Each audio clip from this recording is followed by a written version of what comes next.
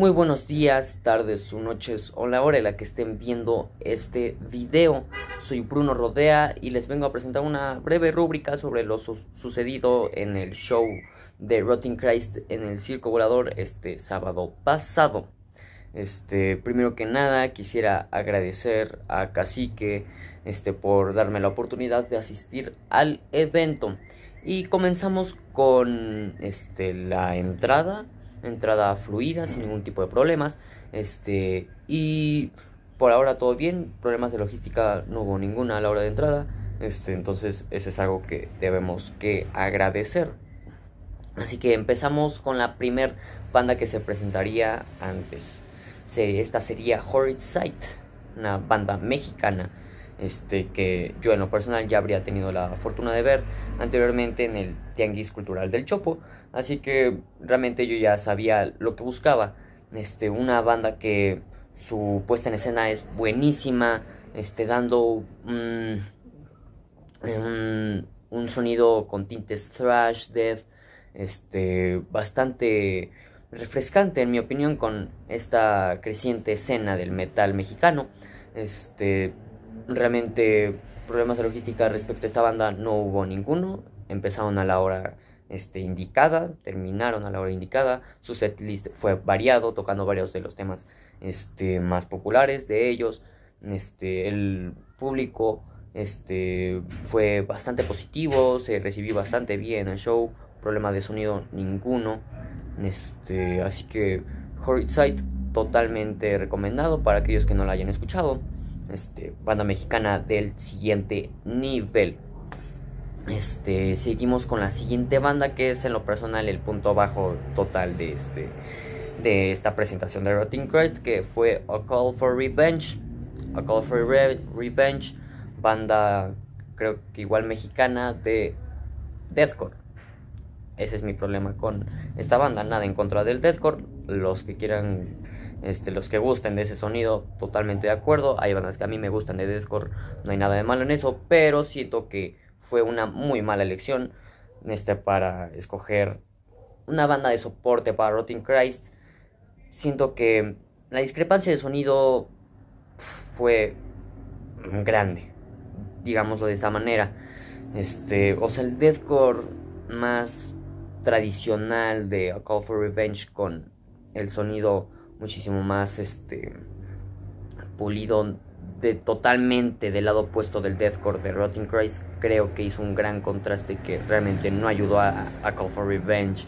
Este siento que no era lo que el público esperaba y se notaba este en el recibimiento que tuvo este hacia la banda. Realmente no no se notaba esa esa química este, en cuanto a sonido, realmente no hubo problemas de sonido, todo sonó este, en orden.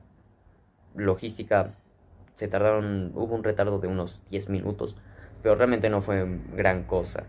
Este, eh, el vocalista siento que fue a lo mejor el punto fuerte en esta banda, cantó bastante bien en mi opinión.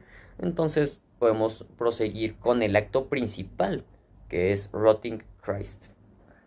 Rotting Christ, con sus 35 años de trayectoria, se viene a presentar en el Circo Volador tocando tanto los temas nuevos, este, si yo mal no recuerdo, tocarían el single de Like, like a Father, Like a Son, de su nuevo disco que ya salió, y parte de los temas viejos, que era de esperarse por esta este, celebración de sus 35 años como banda. Este, eh, problemas de logística cero empezaron justo a tiempo este, no hubo ningún retraso, el sonido estuvo genial, se escuchó fenomenal, se notaba la química del público este, con Rotting Christ, em, o sea, como la gente cantaba coro esas partes más climáticas de las canciones de Rotting Christ. Este, yo en lo personal no soy tan conocedor de la discografía de Rotting Christ, he escuchado algún par de canciones y me han gustado pero no lo suficiente como para poder adentrarme a su discografía de una manera más profunda.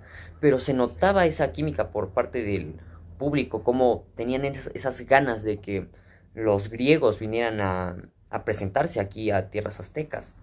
Siento que fue una, un gran acierto este, traer a esta banda. Se notaba que tenían muchas ganas de, de venir aquí, se notó su presentación, la química, su puesta en escena.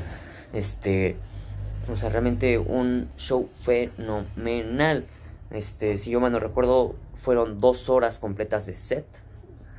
El show terminó aproximadamente eso de las once y media, si no mal recuerdo. Y, la parte importante aquí fue que Rotting Christ haría meet and gratuito al, al término del show. Este, yo en lo personal me tuve que ir un poco antes, pero este, según testimonios de algunos compañeros que habían asistido al show, el meet and greet ocurrió sin problemas. La banda salió, dio autógrafos, este, se dio fotografías, entonces, este, sin ningún tipo de problema. Entonces, este, fue, esta fue mi breve experiencia acerca del, de lo ocurrido en el show de Rotting Christ. Em, si quieren conocer o quieren este, más noticias, más reseñas, este, no olviden suscribirse a este canal de YouTube y a nuestras redes sociales.